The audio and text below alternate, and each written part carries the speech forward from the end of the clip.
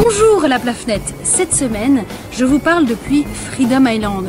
Nous sommes mis d'accord avec le département de protection de l'environnement pour récupérer les déchets plastiques une fois par semaine. Parce qu'il faut savoir qu'ici, en fait, le gouvernement emploie une petite équipe de 5 personnes qui nettoient les plages tous les jours. Je suis euh, là sur une plage euh, où on trouve des espèces d'oiseaux assez rares, certaines qui viennent migrer là quelques mois par an. Mais il faut savoir qu'en 5 ans, euh, le nombre d'oiseaux qui viennent se reproduire ici à Freedom Island a été divisé par 5. on trouve aussi une mangrove avec des espèces d'arbres endémiques. et tout cet écosystème bah, doit être protégé. Le gouvernement met tout en œuvre pour retrouver euh, un espace naturel qui soit propice au développement de ces arbres ou à la reproduction des oiseaux.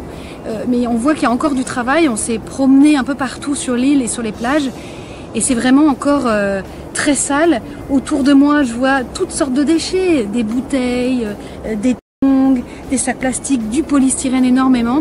Et puis au milieu de tout ça, des aigrettes, différentes sortes d'oiseaux qui se promènent. Donc c'est c'est assez dur euh, de voir ça, mais on va offrir euh, la possibilité euh, au gouvernement, en tout cas au département de protection de l'environnement, de trouver une pour ces déchets qui sinon finiraient sur une décharge. Donc nous, on leur assure que les déchets plastiques qu'ils nous donnent, qu'on va collecter, vont être transformés dans les objets qui vont ensuite durer.